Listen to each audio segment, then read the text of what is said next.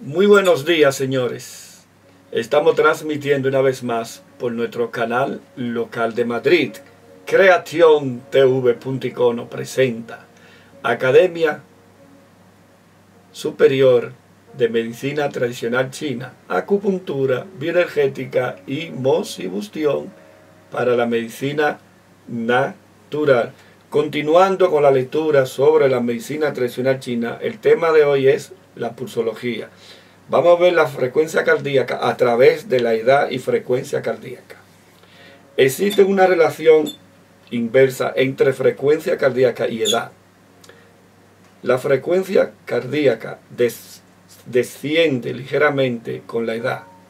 Se debe a la respuesta decreciente de los receptores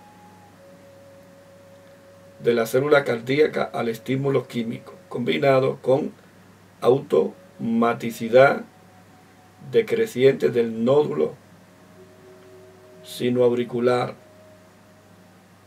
del sistema de conducción intrínseco. Vaya por Dios, son palabras que tengo que saber traducir al español. Espérense un segundo.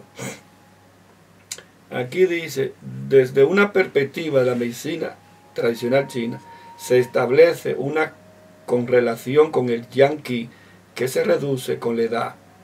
Los niños y los lactantes que según se considera tienen intrínsecamente más yanqui y posee una frecuencia cardíaca significativamente superior que en los recién nacidos suele ser de 140 latidos por minuto.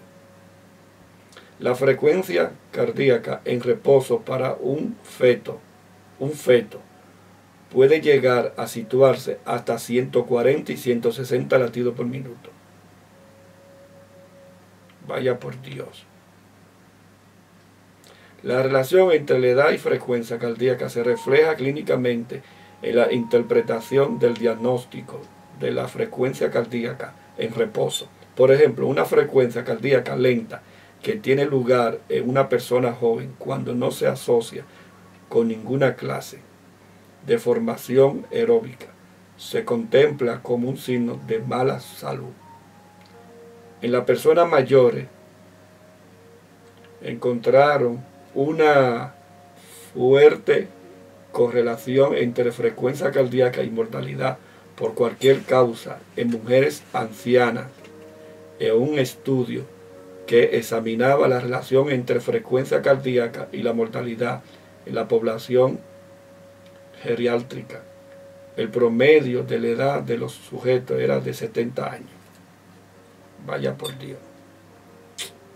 Esto significa que una frecuencia cardíaca en reposo relativamente rápida, es decir, en el lado superior del intervalo normal en una persona de la tercera edad es un signo de riesgo de mortalidad y puede verse como una señal de mala salud.